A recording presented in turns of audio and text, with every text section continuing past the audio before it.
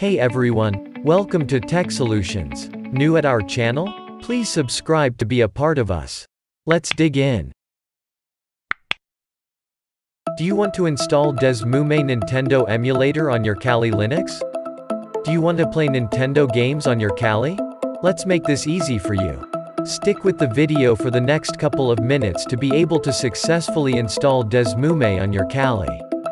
Let's begin. Open Terminal app on your Linux.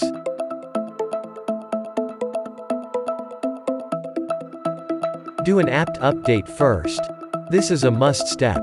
Please do not skip this.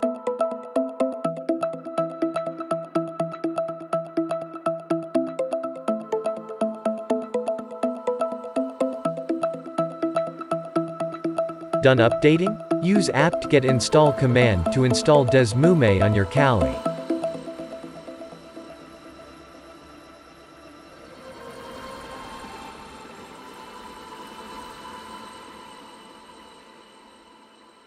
This will install both the CLI and GTK Desmume package on your Kali. You can either use Desmume using CLI or with GTK GUI. Installation can be finished quickly. It's done. You can start Desmume from the terminal app as shown.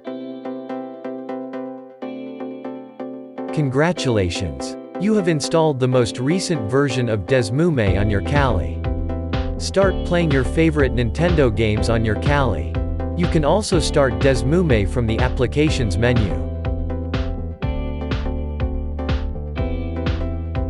Anything to ask? Comment it. Thanks for watching. Good day.